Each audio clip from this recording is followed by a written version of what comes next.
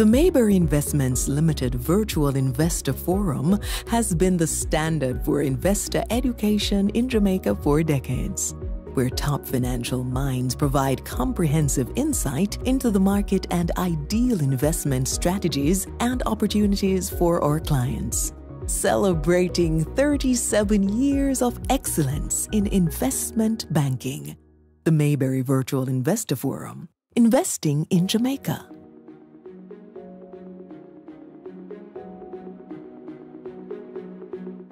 Good evening, ladies and gentlemen. Welcome to our weekly investor series. I'm your host, Dan Theoc, Senior Vice President of Investment Banking. Today, we'll be having a special investor briefing for you all.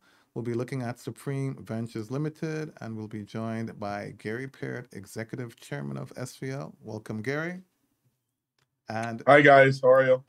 And by Christopher Berry, Executive Chairman of Mayberry Investments Limited. Welcome, Chairman. Hi, Don.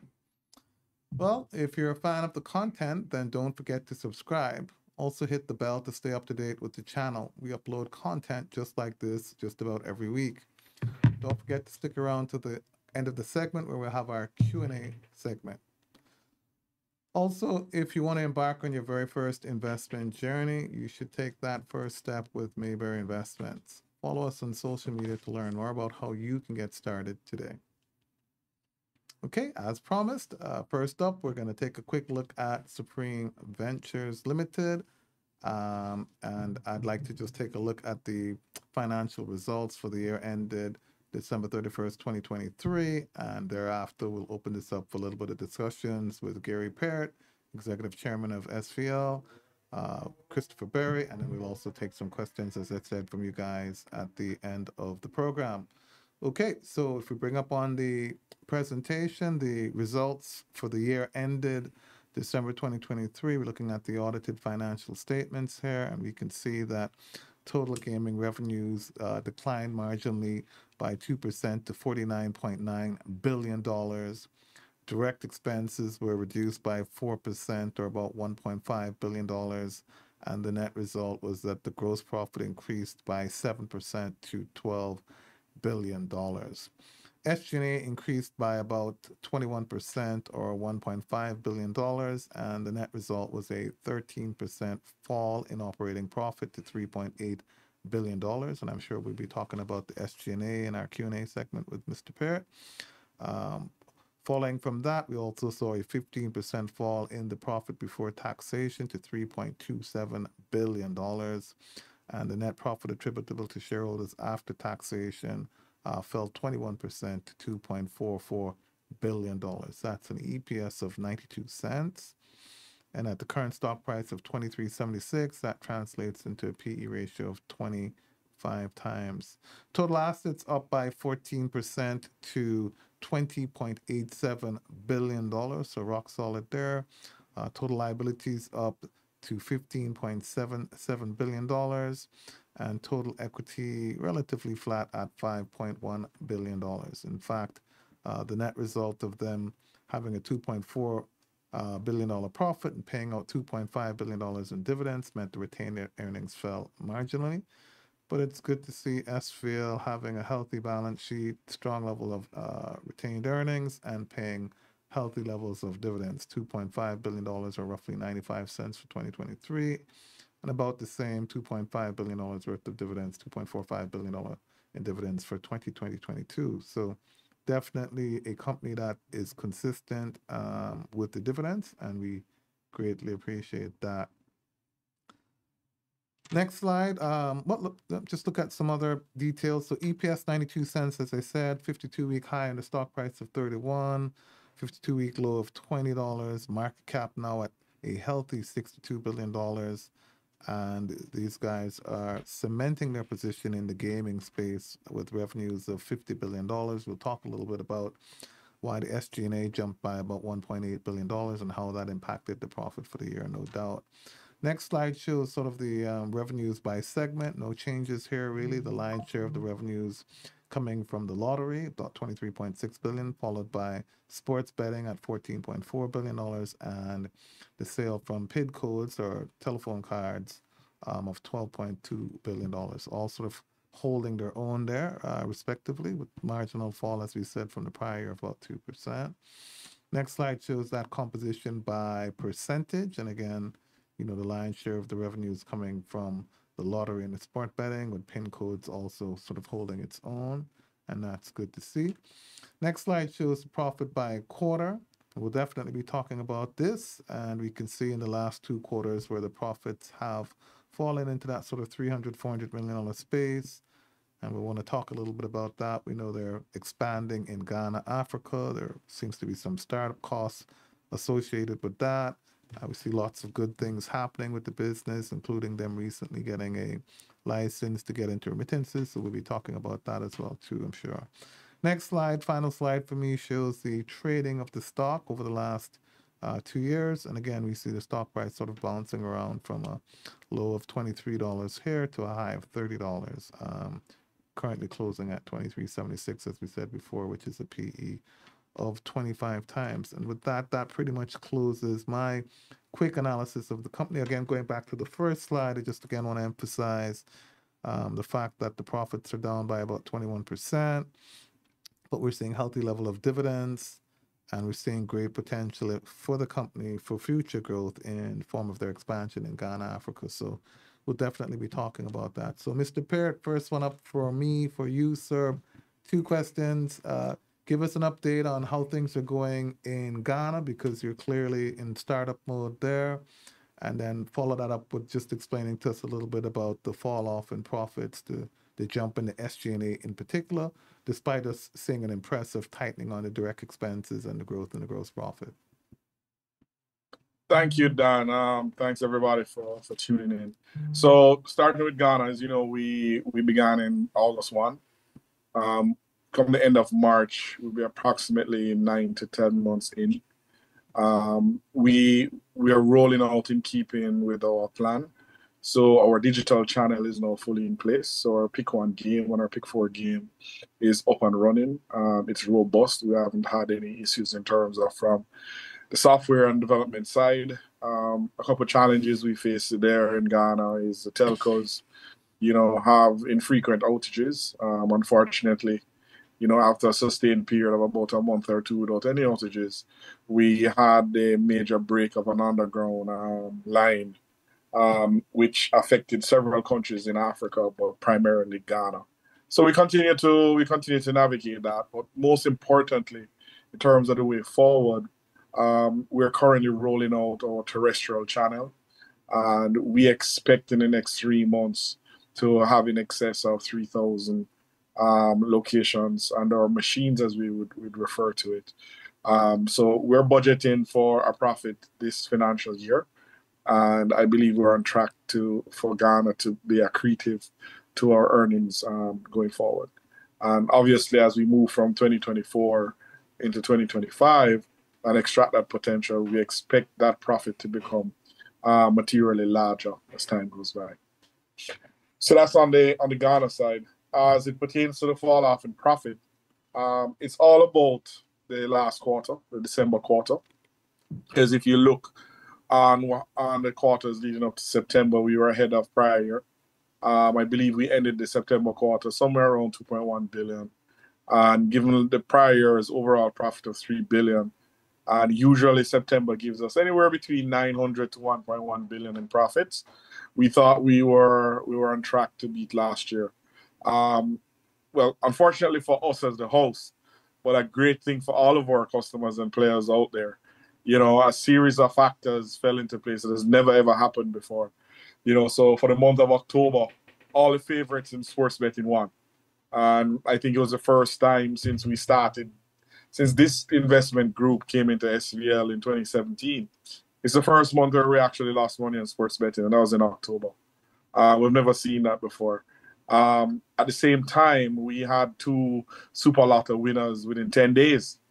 And um, earlier on in the year, uh, which did not affect the last quarter, but we had a major winner of half a billion dollars. But basically, in the space of 10 days, we had two winners, one for 300 odd million, then followed up with another one for 125 million dollars. And then, um, for those who play my games, you'll know what the FOPL is. The FOPL is our pick is a pick four with 999 plays, which are four nines. And the played along with the mega ball at I think a three o'clock draw. And so put into perspective to give you an idea as to what we faced at the time. We had pick four sales of about $12 million and paid out $160 million in winners um, in that draw. And those winners took that money and went into the cash pot draw at six o'clock. And the prize liability on cash pot came out at 120%. So, I mean, that day we had record payouts in cash to our customers. So, you know, it has been, and that was followed through with higher price liabilities on the, the cash pot side, etc. You know, but this is how the business is run. Um, and the beautiful thing is that you know, we focus on the customer, and the customer had an amazing experience for the final quarter of 2023. Um, and as I said, even though they had that great experience, it impacted our profitability. Um, to the tune of about a billion dollars pre-tax. After tax, it would have cost us about between 700 to 750 million dollars. But again, it speaks to another strength of, of SVL that a lot of people don't appreciate. You know our our ability to meet these bills and pay these winnings on a timely basis. And nobody had a problem collecting their winnings. Um, and you know how this business goes. You win today you reinvest and we'll make some more money going forward. As we put out in the press release what we saw in the final quarter of december i think is as i said i won't say it's one off. I mean lightning can strike twice um, but it's very unlikely to reoccur in, in a short space of time. And without trying to give away too much, um, we're already seeing that the first quarter of 2024 is tracking what it normally tracks. You know, for obvious reasons, I can't give you the specific numbers, but you read into that as as as you may. And you know, as as a CEO of the organization, it is prudent for us to to make our shareholders understand that you need to analyze the profits in a particular way so that you're not fooled into thinking the fundamental direction of the company has changed. Um, when in fact it is not only has it not changed, it's actually getting better. You know, so I put that out there. So any investor who is fool to sell, um, when the first quarter comes out, please don't blame me. I've done as best as I can um, where where that's concerned. So, you know, in a quarter that he expected about a billion dollars in profit, which would have carried us about $3.2 billion. Um, we made about 300, so we ended the year at 2.4 billion. Um, it's disappointing in the sense of the outturn of the profit, um, but it's great because SVL primarily is about its customer base, and our customers had an amazing experience, as I said, for the for the final quarter. So we put things into perspective. We have many different platforms. Um, so Caymanas Track, which is a horse racing, we on average make six millionaires a month. We had 68 millionaires for 2023. Um, that follows through with Anybet and JustBet in our sports betting side, where we create millionaires there. And of course, you know the others in terms of Super Lotto, Lotto. I didn't even speak to the Lotto. We had record winners in Lotto. And during that quarter, we had about three or four Lotto hits. You know, so that confluence of factors for all of those different products paying out at their maximum during that period of time impacted the profitability. But the simple reality is that it benefited our customer. And once the customer is happy, we are doing we're doing a good job. I appreciate that, and I think it's good to note that in you know over fifty billion dollars of of gaming revenues, we're seeing more than ninety percent is being paid out back to the customers to local ordinary Jamaicans for the most part. Correct. Excellent. That's good to know.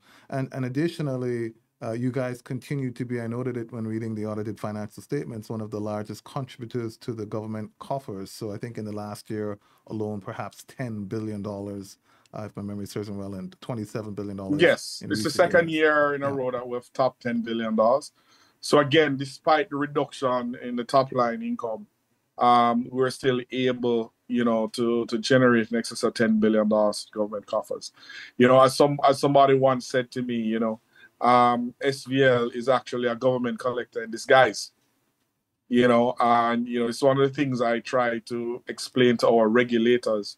You know, that the more underground games that they can carry above above ground, the government will get their fair share of taxes, and that's what that's what SVL does.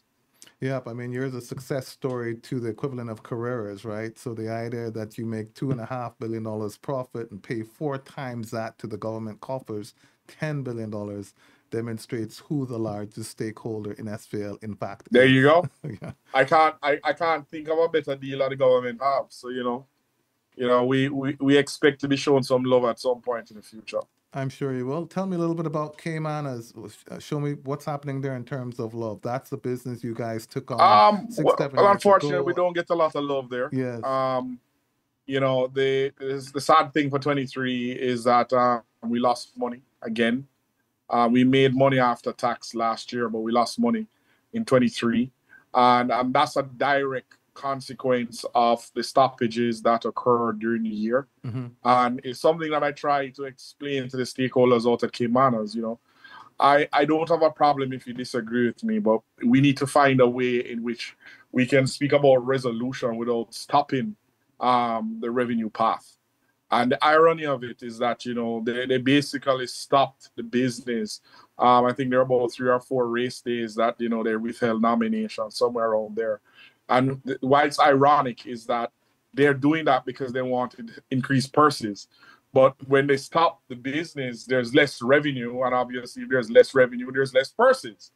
You know, so it, it doesn't make sense because we can't pay purses out of thin air and you know we're running a business to to to, to make our profit or at the very least to have a, a relatively small amount of, of losses if they're going to be losses you know so that was very disappointing um i think the numbers that has come out revenue from live racing has gone gone down um you know the bright spot the bright spot out at Caymanas is that revenue from simulcast is up you know and it's one of our higher margin business and so we, we have to find a way to, to, to look at it. But as I said, you know, we have to find a middle ground because, you know, recently, again, the regulator has has implemented a new rule. You know, unfortunately, they didn't speak to us at all before they implemented this rule, um, which is which is which is which is unheard of. Um, we've just recently seen where the Bank of Jamaica has put in new rules pertaining to ATMs, etc. And what's instructive you know they're giving the marketplace nine months to understand it and get an understanding of what's going on and you know the regulator in racing has just put in two new rules and it's just implemented effective immediately you know and you know so in the case of the rule um, pertaining to post time you know if Caymanas is going to is going to have to find a way to conform it will result in less race days for live racing you know so here it is again everybody wants purses to go up but the regulator is taking actions that indirectly leads to a reduction of purses, you know. And so what it means is that, you know, people are going to come back to us asking for increased purses when really and surely they, they need to turn to the regulator who was putting in this rule to, you know, to subsidize the purses. Maybe that's a solution that that needs to that needs to happen. You know, but the reality is that we need some amount of harmony and understanding um, you know, to, to move that product forward. The team led by Solomon continues to do a great job. But you know, it's it's difficult when you're trying to eke out revenues and you have stakeholders that's not fully understanding what a racetrack requires and having to deal um, you know, with, with these things. But like everything else, you know, we have invested. Um, we're supposed to invest 500 million. We've invested 4 billion. Um, and at this point in time, we just need to harvest, you know until I think all the stakeholders can come together and understand what is required to move this business forward, um, we will continue to struggle somewhat there. But I'm optimistic, um, Dan, that ultimately sense, common sense, and sense will prevail, and people start to understand that, you know, we are not hostile to the industry. You can't be hostile to an industry and invest four billion, Dan. You know, so we need more people at the table um, inclusive of the government. And I think once we can do that, uh, we'll expect to see in the future uh, much more profits um, going forward. Yeah, I look forward to it. I made my one visit last year, and as far as I'm concerned, it's super fantastic. Tell me a little bit about it, the Mute Mile. I, I went and Yeah. saw a different side, I guess, of Caymanas it was really Well, pumping Padre. you know, really and, and that's it. the irony of it, Dan, which is what we're trying to explain to our local stakeholders, right? We're sitting on a gold mine that can we can only extract the gold if all the stakeholders um, stand together. You know, um, the team at, at Caymanas single-handedly have brought this product internationally.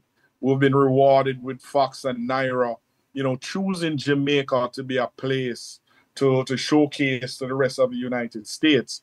And you know, so if people questioned where we wanted to go with this business, I mean, how much more do we need to do? You know, and so we put we showcase Jamaica and the best of Jamaican horse racing on that day. You know, but I mean, what do you do when you have a leader um, of one of the key stakeholders, you know, Howard Hamilton, who says that the, the Mote Mile is, is a failure? You know, something that brings the NYRA, Fox Sports, all this type of men. I mean, you know, as, as I said to, to Howard, I mean, probably he needs to understand the definition of what success is. But this is what we face, you know. And deep down, I know Howard believes it's a success. But if he if he has to say something negative, probably that's when people focus on him. But let's see.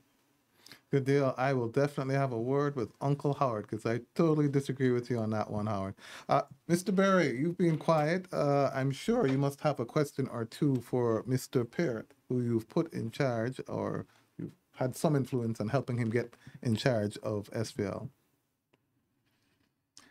Yes, well, um, I, I, I don't really have any questions. I think um, my question would have been around the the fall in the profits. I think Gary did a, a, a very good job of explaining what happened, and um, based on what he said, uh, it, it seems like the train is moving forward, and there will be good fruits on it in the future. So I'm I'm good. How are you feeling about Africa, Mr. Berry? You've actually made a trip or two uh, to Ghana yourself. How are you feeling about the expansion in uh, Ghana, and what would you say to those of us who are out there thinking, "Hey, it's been six months. What's taking so long?"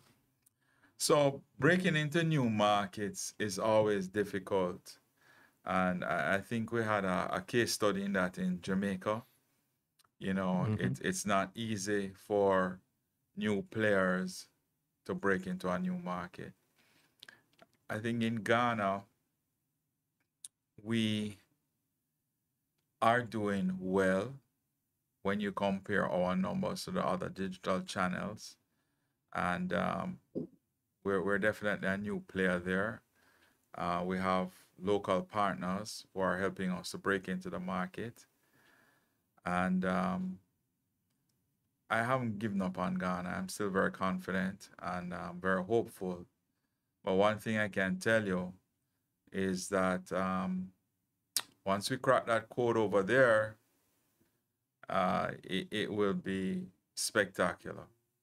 The great thing about it is that the investment in Ghana is not sufficient to really impact the company in any major way even if it goes to zero. So um, it's a good bet for us. A um, lot of upside with a little downside. We just have to get everything to work together and, and it will be good. Okay, appreciate that. So, Gary, speaking of new markets, uh, uh, remittances, I see where you guys have recently been approved by the BOJ, received a license. Uh, it looks like you're going into the remittance business. Tell me a little bit about that how does that fit into the group? Um, Dan, it's it's not just remittance. It's I mean the, the, the, bigger vision. You know, remember when I the first time I think I, I came on this program for SVL, we spoke about S how we saw SVL at the time, which you know is a transaction platform with a lottery business on that platform. It's a technology so company that does a lot of things. Yeah. Right. So. Mm-hmm we're just putting other businesses on that transaction platform. So, you know, a lot of people don't realize, but SVL is the largest seller of phone credit in the country. So, in addition to our lottery that we sell on the terminals, we also sell um, phone credit um, at the right price to to to the majority of people in, in the in the country. So, you know, that's another level of transaction that's on the platform. We're into bill payments now in a limited way. We're looking to expand that.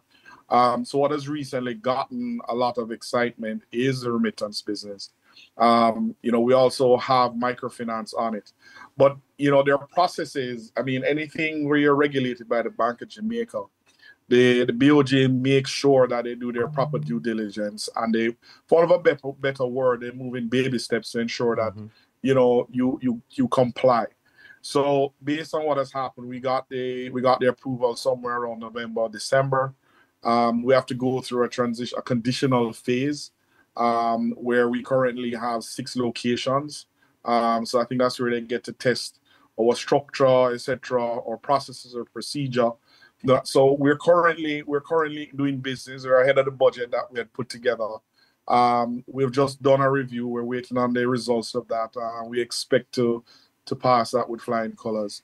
And basically, the end of the conditional period is somewhere around the end of April, and May. Uh, once we get that additional approval from the Bank of Jamaica, then we'll have a full license, and at which point we can roll out massively across the country. So we would we would increase significantly from six locations to at least 300 to 500 locations across the island. Um, we expect to to get about 10% of the market within the next three years. Um, I mean that's our initial goal.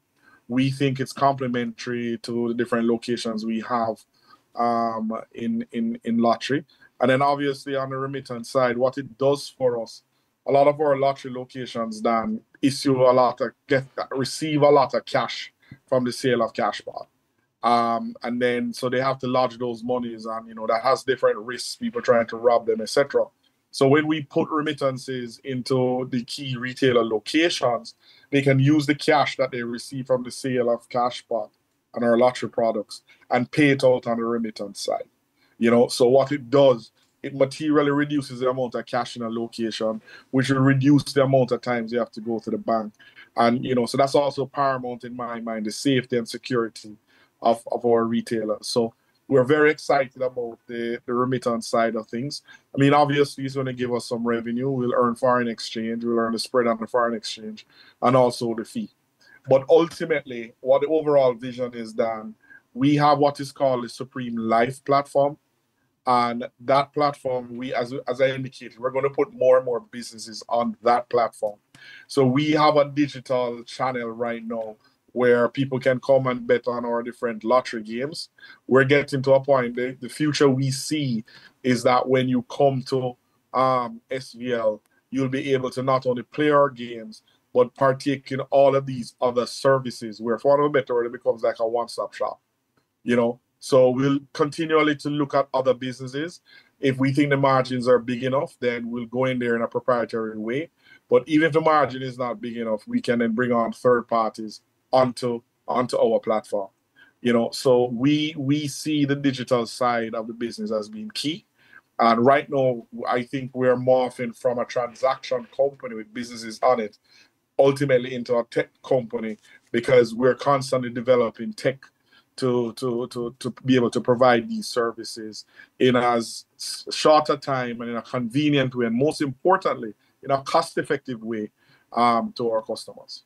So you have island-wide reach throughout how many terminals, Gary? I know it's well north of 1,200. So in terms of terminals across all our businesses, we have approximately 2,100 points of sale um, in terms of terminals. Right. Um, you know, which, which we can expand. And that's across our various businesses. So that's horse racing, sports betting, um, microfinance, uh, primarily lottery. You know, so we have a nice footprint across the island and you're handling a substantial amount of cash, uh, over five billion dollars per month by my math. You, you need not right. it, but excellent, good deal. So tell me a little bit now about. So I understand the remittance business, and I can tell you whenever I look at the remittance business for any listed company, it's usually a very profitable segment, folks. Um, highly profitable. I mean, if you look at the GraceKennedy Group, for instance, it's, it's the most profitable um, segment in terms of margins and has great potential for growth. So I, I certainly like the space. It makes a lot of sense. But tell us a little bit about the microfinance space now. We see you guys making two moves uh, in recent uh, years, as, as, many years, um, into the microfinance right. space uh, in the form of Michaela Financials and uh, Dollar Financial Services Limited. So tell us a little bit about why microfinance and synergies and why that's also a good fit for what you guys do. So again, you know, we speak about the, the supreme life. You know, people people come to the platform for a variety of different reasons. Um, so we have a lot of retailers who not only retail our lottery products, but you know, they be they have wholesales, they have other small businesses that they do stuff with. And so what has happened is we actually brought on a fintech solution in microfinance called Evolve that has been primarily rolled out within my retailer structure um, in SVL. Um, as a consequence of that, or a follow through on that, we bought into Michaela, you know, to get countrywide exposure to to microfinance. Um, in 2023, we initially we were majority shareholders. We went further and bought all the minorities, and we now own Michaela 100%. So we have 100% of Michaela, we have 100% of Evolve. But if for a better, Evolve is electronic or digital, uh, Michaela is terrestrial. You know, so we have those two channels. Um, they're growing pretty nicely. They're both profitable. And what that does now is complement ourselves because we had the opportunity to invest in what I believe is the number one microfinance company in the space, which was Dolla. And so when that opportunity was presented to SVL, SVL definitely took took took advantage of that, and um, we've made that investment. That investment has gone pretty well, certainly for 23, and starting in 24, it continues to it continues to do well. So we're getting capital appreciation from from from that from that investment as well as dividend income from that investment. You know, so I think we have a nice exposure to the microfinance side of the business.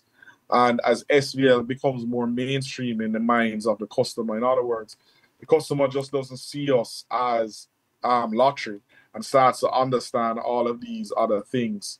Um, you know, we expect significant growth um, in all those other areas. So, for example, once we get in the case of remittance up to our our, our threshold of three, four hundred locations, which maybe by this the third quarter September, you know, that's will start to drive profit. Um, or bill payment will, will be on the back of that. That starts to drive profit as well. Uh, Michaela and FinTech are, and Evolve are now up to are mature. We expect nice profits coming out of that. So I'm very excited about 2024 because for 23 and before, we had to be carrying these companies as the investments were being made. So as you can imagine, whilst you were waiting the, the, the approvals for, remittance and BOJ, you know, you had to be carrying salaries. You, you know, so 2023 was a year of investment. You know, so we invested in, in tech for bill payment, um, tech for microfinance, um, tech for Ghana. And so we're carrying all of those costs, and you did not have the revenue maturing on the other side. We expect for 2020, 2024 that we will see, no pun intended, the evolving of that of the of that revenues. And I expect 2024 to be a very good year for SVL. I can't wait to see the first quarter results come out. Same question kind of for you, Chairman Berry. This is not your first or second or even your third rodeo with respect to microfinance businesses. And we see um, SVL taking a stake in Dolla Financials, but we also observed MJE uh, following suit as well too. Uh, tell me what excites you about the microfinance space and perhaps dolla financials as well too. Yeah, so as you will recall, way back in the day before it was popular, uh, we we had a child by the name of Access, and um, when we got in Access, they were making less than ten million dollars a year and when we left them, they're making about 300 million. Um, we feel that that access should have and could have been much bigger, but you know the team just couldn't find a way to stay together. We had to split up, and um, we have been striking different partnerships and going exploring different ways of of trying to create something special in microfinance. We see it as a very big opportunity in Jamaica. It's not a market which is really being addressed by the traditional financial sector. And uh, based on what we see, we don't expect them to be able to deal with these type of customers anytime soon. Um, not in this Jamaica that we are living in. As time passes, you know, I think the traditional financial sector um, will catch up in that area, but there's going to be some real big companies born and growing out of that microfinance business. And I think that's why you see BOJ getting involved because they realize that this thing really has legs and they need to get involved before it gets too big. So I think it's it's it's a huge opportunity. Um, we just have to find a way to bring it all together. Good deal. Yep, I think I agree. So we see the regulation coming. We expect there to be a lot more consolidation in the space, and we see, I'm going to call them the new kid on the block, a company that was around for seven, eight years, listing um, 15 months ago in the form of dolla financials and demonstrating a culture and a capability to grow that business substantially. And similarly, we saw their December 2023 results coming out uh, this week and and profits up uh, you know over 50% over 400 million dollars loan books grown very nicely over 50% and so this business really seems poised for great growth growing their loan book from $400 million three years ago to now over 2.5 billion dollars and so I, I too look forward with great excitement to see how Dolla Financials continues to grow. Great team over there great leadership and partnership uh, between Mayberry, SVL, uh, and this team. And so I think that company really is poised for significant growth. And I think it's a great investment made by SVL and MJE together. Um, so it's great to see that business doing well. And we look forward to further future updates. Uh, so, Mr. Parrott, um, SVL, I mean, we see you guys also uh, on the balance sheet side taking on some additional loans uh, to grow the business a little bit. I think you grew your loan book by about $3 billion, grew your total asset base to $20 billion, made some great investments and so on. Um, I mean, what really is the future growth capabilities of SVL, even within the region, even within the country? I mean, how, how much further can this business really grow? Um, you know, Dan, I've been thinking of different words to answer this question um, because, you know, I'm thinking of words like limitless, um, significant. And, you know, uh, so I put in a perspective. You know, the Ghanaian experience has created significant value already for us.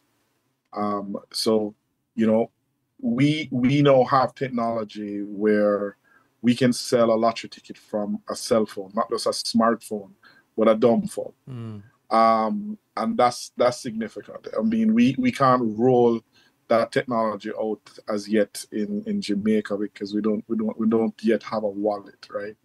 Um, so there are certain digital breakthroughs that we have made in Ghana, which we're just waiting for the parameters to put it to be put in place um, for Jamaica um, to be able to roll those out. Those, things like that would increase our efficiency in Jamaica um, in terms of profitability, 30 to 50 percent. You know, if we if, if we implement um, those kind of things. Remember, you know, the size of our lottery business is a little bit under 500 million US, right? So every one percent that we can save is going to drive five million US to the bottom line, mm-hmm. right? Um, so there may, there's a lot of different ways to save different one percents with, with those news efficiencies. Um, two, Ghana, Ghana is 30 million people. You know, Jamaica is three. So if we're making 20 million US with three million people, our population of three million people, you know, what does that profit looks like mm. with a population 10 times larger? Um, it will take time. I don't think it will take as much as 20 years. Um, you know, but if if if we're able to get half of that in five years time you know that's 50 60 million us dollars that's three four times where the business is right now that's just one african country. Um you know there are there we we now have significant opportunity because people across the world now know that we have our proprietary software uh, we can compete with the best. And so that puts us in a position to go into several jurisdictions. So in the case of Ghana, we have to spend our own capital, but there's an opportunity to just charge a fee and go into different markets. And we have demonstrated by get going into Ghana and getting a license So to put it in perspective, SVL is the first third party lottery operator that has gotten a provisional license in Ghana. Most other people who operate in Ghana operate the existing 5 in 90 lottery as a part as a corollary of, of that of that lottery. So we have come in with new lottery products and we're the first to to to, to have done so. So it says a lot. Um, there's several other opportunities. Um, I wouldn't be surprised if in another year or two, you know, we might penetrate another another another country. And this is in the perspective of getting a lottery license is very difficult, yeah. But we, since we have come to to Supreme Ventures, we have gotten a license in in Ghana. We now have one in Ghana, and we beam to South Africa. So there are a lot of jurisdictions out there um, you know, and I would say, I mean, if we get two or three more jurisdictions, you're looking at doubling, increasing by a factor 10 times over five, 10 years, the profits of the company. That's just in a lottery line. When you start to think about uh, value added stuff like remittance and other potential businesses that, that we can get into, it's huge. What we're, what we're doing in horse racing, we have other horse racing jurisdictions that want to give us contracts to operate their racetracks because of how they see what we do in Jamaica. And that's million dollar US contracts. You know, so you know, I can talk for the rest of the day about several of the opportunities that we have from a Supreme Ventures perspective. You know, so they, they yeah, so the, the reality, the reality is that when I speak about limitless, when I speak about significant um when I speak about significant things to do, I'm not I'm I'm literally not joking, you know. And so what we want to do for 24, which we want to demonstrate to the max in 24, is to reap return on the investments that we have made in 22 and 23. Right? Um, we have invested significant amounts in not just our proprietary software, but other digital solutions. And we feel 24 is the year that we need to show and reap from those investments so we can get back um, some cash. Um, you'd have seen in the latter part of 23, we borrowed some additional money.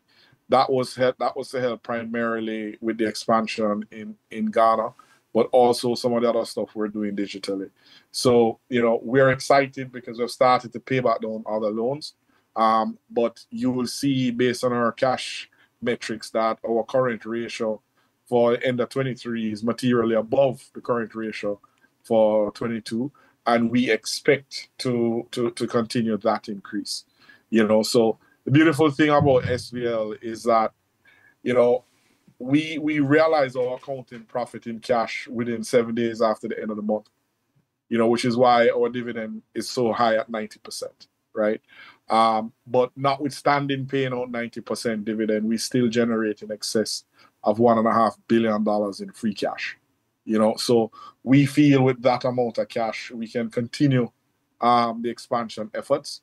And we think as we continue to generate the profits for this year that free cash flow will will, will start to increase materially okay excellent i appreciate that okay so folks i haven't been ignoring you we we will get into some q and a's um, I'm going to give Chairman the opportunity if he has any other question he wants to ask Gary. Let's go into Q and A. Um, but let's do the Q&A first because I've seen a few questions coming in um, already. Okay, so first one comes in from Devon who's asking, uh, Gary, what exactly is Supreme Ventures University and what is the value and the tenure of the contract for the learning management system?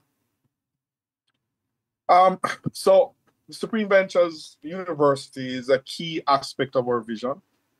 Um, I think I've told this story before. I mean, personally, coming up in the corporate sector in Jamaica, um, it was always interesting to see expatriates come into Jamaica and get all these benefits because they've been moving from their country of origin or residence to, to Jamaica. Um, since SVL has taken on the opportunity to expand into other regions, it allows us the opportunity to create our own culture and gaming, you don't go to university and get a degree in gaming. You know, you get accounting, marketing, legal, you know. So a Supreme Ventures University creates a scenario for us to A, improve on our culture, but B, train our customer, our employees in the way that we would want to grow them for different opportunities within the company, right? So it, it's it's our way of creating a deeper bench, you know. So whilst you have senior leaders, as you expand into new markets, you're going to need additional people, and so instead of trying to recruit stars from other gaming companies that are pretty expensive, we will use the university to groom our own stars and create our own stars. And over the long term, it will keep or certainly our salary costs and our salary structure um, relatively lower, but at the same time reward um, brilliant and talented um, individuals within the company. Got it. I appreciate that. Um, Cliff Robinson asks, what percentage ownership of the Game Park Limited is being targeted for the Ghanaian acquisition? I don't understand the question, but if I was to interpret it, yeah. Game Park is owned 100% by our Ghanaian partner. So SVL has no percentage ownership in Game Park. Um, what SVL, SVL has a company called iBet Ghana that provides technical marketing and other services to Game Park. And that's how we earn our revenue. We charge for the software um, in terms of the proprietary lottery software and other things um, that will ensure the, the, the proper running of our lottery business there. So if you understand the structure we have in Jamaica, um, SVL's proprietary or technical services partner in Jamaica is the Fortune 500 company IGT. Um, so IGT provides runs our lottery on their proprietary system, and we pay them a fee. We are the IGT to Game Park in Ghana. Good deal, and they'll pay you a fee as well. So JT, hopefully that answers your question about what. And, and to give you and to give you some context, uh-huh. um, my the profit for last year would have been about two point four billion dollars. Yeah. Uh, the payment to IGT is approximately thirteen million US. Very so good. that's the kind of money the technical yes. services partner will earn relative to what the lottery licensee earns. So they can make they can be more profitable than the licensee. So JT, hopefully yes. that answers your question about what type of acquisition are you seeking in Ghana. I think uh, Gary explained that we're going to be the technology partner to the operators of the lottery in Ghana, their exclusive partner, and earn our fees accord- accordingly. Philip Burgess asks, is the government looking to designate Caymanas as an entertainment zone? I don't know what the government plans are with that, but what I can tell him is that we see Caymanas, as an entertainment zone. And, you know, if we get our way in terms of what our plans are for Caymanas, um, Caymanas will become the number one entertainment zone in the country. Good deal. I think I think they've just approved a, another location in Port Moresby, eh, Gary? Yes, they they approved Jam World. Right um, where they think they've put aside some funds to turn it into a 24, 24 hour, seven days a week for um, entertainment facility. Um, but Caymanas has the ability to to materially be better than that. I mean, and you will see it roll itself out in a in a limited way. We have some opportunities that uh, will be brought to market pretty shortly. Got it. Philip again asks, do you plan to go into sport betting in Ghana? the the opportunities there. Sports betting in in in Africa as a continent is crazy. It's mm. it's it's it's it's next level, um, and it's it's pretty competitive. But there are opportunities there. But like with everything else in life, and certainly with the ethos that we have, um, especially with Mayberry as a partner, slow and steady wins the race, and we want to crack the code in Ghana in lottery before we start to expand in different areas. Um, because once we crack the code in lottery, that will drive a certain amount of cash flow, and which will allow us to to move into not just sports betting. There's there there are materially other opportunities, not just in Ghana but in several other African countries. Got it. Okay, some interesting questions coming on coming in here. This one looks like it's better suited for Ollie Mo, but I'm going to ask you. Ollie O'Neill Johnson asks, "Is SVL in the running to grab the Premier League rights from C Sport?" Uh no, Ali is a, a good friend of ours, but um, whilst we're going to whilst we're going into entertainment in a much deeper way for 2024. Um, we have we have not yet moved over to to um, digital media or you know television that side. We're, we're not there as yet. Um, we have a very exciting venture that we're going to release to the public probably in another month. I alluded to it about a month or so ago.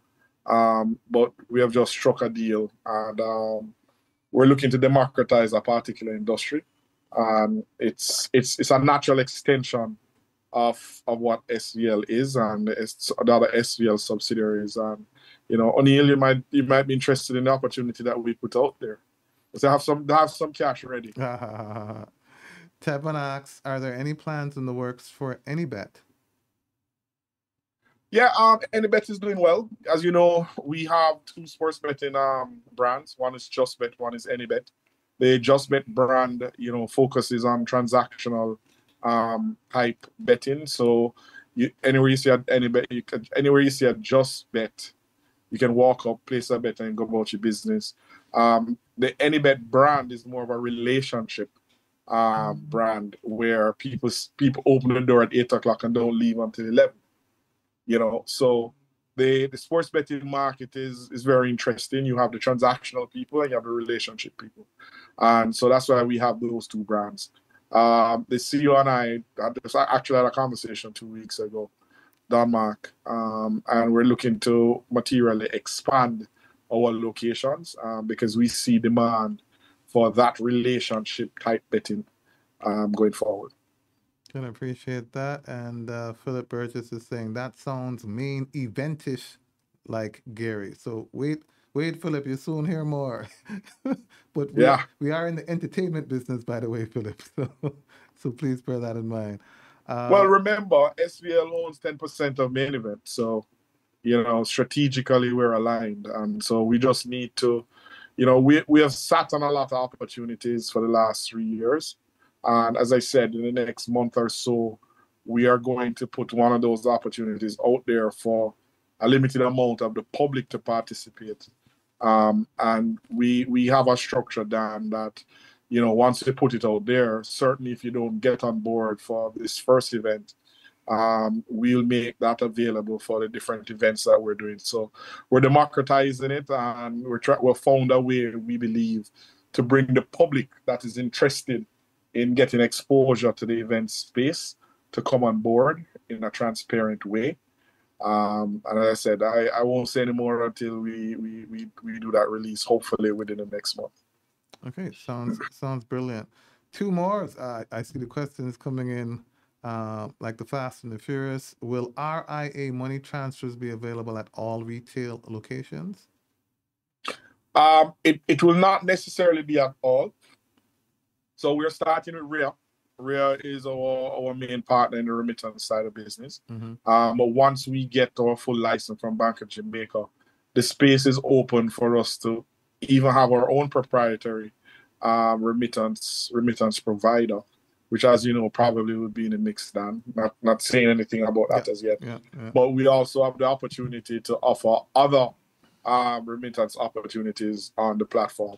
So, you know, with a distribution network, you want to find the most optimum distribution network. And so it's very, it's, it's not likely that my existing 2,100 locations will be the ideal 2,100 locations for remittance. I expect to use quite a bit of our existing um, retail locations, but it I I also expect to take on non SVL lottery locations as well because we're trying to find the best distribution. Uh, but I hasten to add that whilst we will have a terrestrial channel for distribution for remittance, our ultimate channel is going to be digital because the future is digital. And so we'd also be building our own proprietary digital solution and it'll be a part of the SLP platform where you'll be able to access your remittance, your remittance proceeds in the same space as potentially betting on lottery or back paying bills, etc. You'll have, as I said, you'll have a unique one-stop shop. Great. So a digital wallet is definitely to come. And I apologize, guys. We've run out of time, so I can't take any more questions, but I will take this last comment from Tevon and I'm going to read it verbatim. SVL is one of the players for years to come. Don't watch that $1 billion payout. It's a good thing. More people will play SVL games in the hope of winning, which will lead to more money into the company. Amen. Well said. But then I can take two more questions if you want. I mean, we, we won't kill people. Okay, I agree. Um, so um, uh, folks are saying they're looking for an APO. Folks are saying they're looking for a rights issue from MEEG. Devon asks Gary, uh, did Gary say how much the contract was for the learning management system? So they're just curious to know what was the contract for the learning management. No, system. um, I, I didn't speak to the, the, the size of the contract, and reason being, uh, we're constantly learning, huh? and so we we have partnered we've partnered with Edufocal, and we started out at a particular level. You know, my expectation is the feedback from my employees will determine how much deeper um, we would go. And you know, once they understand the platform and they're comfortable with it, then the expectation is that we would expect to make that contract much bigger. Um, it's currently not material in terms of the things I look at, to be very honest with you. Um, but going forward, you know, what we like about the Edufocal partnership is that you know, once they understand our business a bit better, we can walk with them into places like Ghana, Guyana, etc. Because it can be, if we find a way to train our retailers on that Edufocal platform, um, it'll it'll not only drive revenue for Edufocal, but ultimately drive revenues for for SVL. And so that's what I I primarily look forward to. Okay, makes sense to me. And that's it for the questions, but I will allow Chairman Berry a final comment or a question. Chairman Berry? Yes, Gary. So my question is, um, what do you estimate the size of the underground gaming market to be? One, two, who can deliver this revenue to the government? Who can bring it into the formal sector? And what kind of taxes the government could earn off this sector if it's captured in the in, in the net? Yeah. Um, so Chris, I'll answer your question two ways. So in terms of the underground lottery market, I think the underground no, lottery no, market. No, Gary. no, I'm, I'm coming. I'm going to answer. Give oh, me a oh, chance, please. Oh, sorry. Give me, give me a chance. Um, I'm being pedantic for a reason. Um, the underground lottery market, I estimate to be about 20% of the above ground market. And as I said, the, the lottery, the lottery products that we have is about half a billion US dollars. So you're talking 100 billion, 100 million US, which is about what 15 billion. Um, so we pay effectively 65 to 70 percent um, of of um, revenue, give or take. Um, so you know, you're talking about, you know, we pay the government 10 billion Jamaican across all the different tax tax tax levels inside the company on half a billion. So divide that by five, the government can earn another two and a half, three billion dollars just from the lottery sector. Um, the box sector, and this is rather very embarrassing, but it's a fact the betting gaming and lottery does not know the size of the box sector simply because they do not know how to quantify the box sector.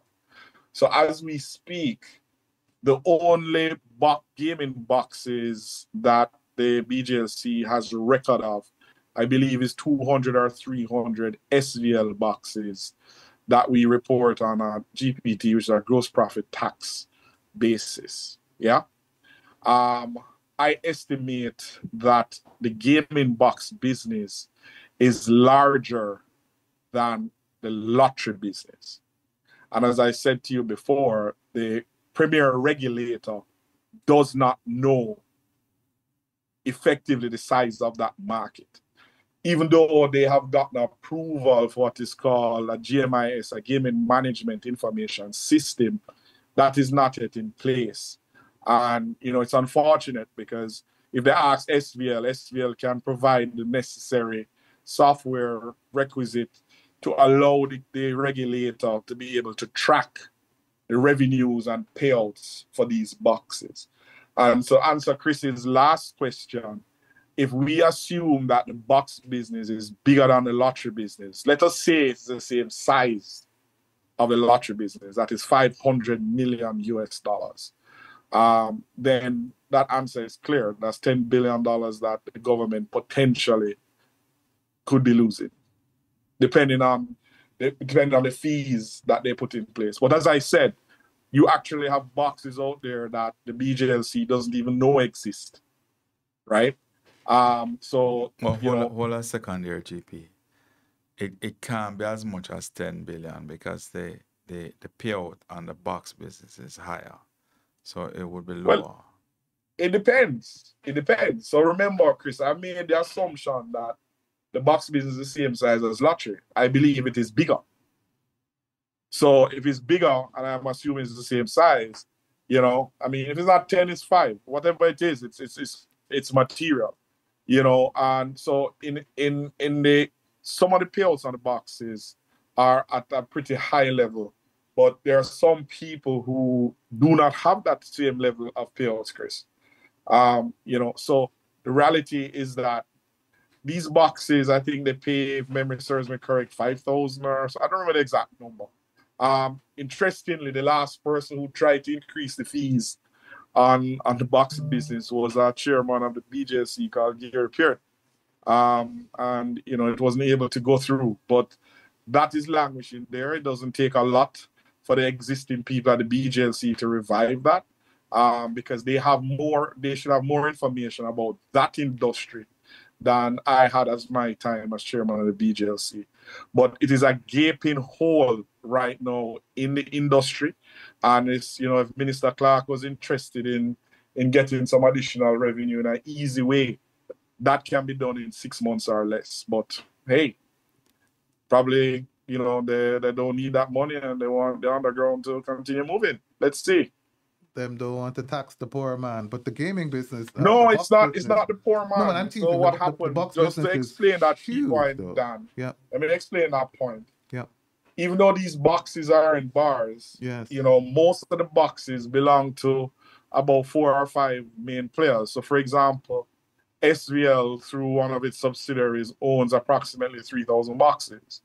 You have other players with five and eight thousand boxes out there. So they put it into bars and they do a revenue share. Yeah. So on the face of it, you might think the bar owner has the boxes, but it's these four or five players that are earning from these boxes. You know, so you have players that are cl- that are clearing in excess of a billion dollars a year in revenue as a one person. You know, not regulated, um, and we don't know if they're paying taxes. Well, they're, they're, they're paying a fee just to put the box in place. You know, I mean, and if they're paying taxes, great. But the reality is that the government um, could be getting more, you know, because SVL pays an effective tax rate of 65%. percent mm-hmm. Right? So if you're earning in the gaming sector, how fair is it that I have a competitor that if he's paying taxes, is he's paying corporate tax at 20, individual tax at 25%, and I'm paying 65%. It, it's not reasonable, eh? Yeah, yeah. But again, the, the, the point is that it is a gaping hole. You know, and there's no excuse um, for for the regulator not making more material steps to close that hole. Understood. I appreciate that. I didn't appreciate the magnitude of it and the potential impact of the yeah. government coffers. Every is, quarter, every quarter, the BGLC puts out or is supposed to put out a market share um, data report. Um, it comes out, and it, it usually should come out within a month. That I think now they're up to about 60 to 90 days after the end of the quarter. But if you read that report, you can go to their website right now, bglc.org and you can see the historical report. I think they have, I think December is now out, if memory serves me correct. Now, when you go through that, that report, it shows you total lottery, it shows you total horse racing, it shows you total sports betting, and then it has, when you go to the box section, you have a small amount. When you read the commentary, It is from one of our subsidiary companies called Ice Jamaica. Um, and it's just 200 machines. So I have SVL has another entity with 3,000 machines, and that information is not recorded at the PJC. Yeah, that's amazing. I, literally have a friend who tried to open up uh, one of these locations, and it t- took him six months to get approved by all of the regulators. So to imagine that they're not using that information to then collect revenues yeah. for the government is, is and you might find some people get approved much faster, but we don't know why that occurs. but the key point is this: I mean, it's material revenue, and I'm just guessing. You know, I don't have fundamental facts. I just have intuition. Um, but I can tell you, it is billions and multiples of billions of dollars that's that's flowing through that you know neither the regulator nor the government um, has a handle on. Um, and as I said, it doesn't take much for them to to to to benefit from it. Well, I hope the folks are listening to us. That's some low hanging fruit for you there. Uh, we'd appreciate if you went after that to help regularize the sector to level the playing field. Well, thank you very much, Mr. Peart, Mr. Berry, for your invaluable insights. Um, that's it for today's discussions. I'd like to thank our viewers, as usual, for tuning in. Your support is always appreciated. And again, you know, big thanks to Gary Peart, Executive Chairman of SVL, for coming on the program. We're going to have you back in 45 days. I look forward to seeing that first quarter results for sure folks, if you're curious about that. No, you'll get it before the end of April. Before the oh, I like the sound of that. So we'll have you back in 30 days. I'm going to hold you to that, sir. Um, yep. Folks, if you're curious about our updates on our virtual investor forum, then find us on social media. We share our live stream dates and our upcoming guests on our official social media pages. So give us a follow to learn more about all things forum related. And don't forget to subscribe to our YouTube channel Mayberry Investments Limited and click the bell to receive all our notifications. And remember, wise investors, slow and steady wins the race. Keep safe, everyone. Goodbye.